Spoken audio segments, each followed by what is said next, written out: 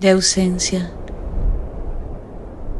La ausencia es un concepto profundo que a todos como humanos nos afecta. Tal como plantea Borges, nos rodea como una cuerda a la garganta, al mar que se hunde. Es por eso que la escritora y poeta Andrea Cote Botero ha dedicado su más reciente poema titulado De ausencia a explorar en los versos la complejidad del término. Es para él que los árboles enanos inclinan en la arena sus ramas.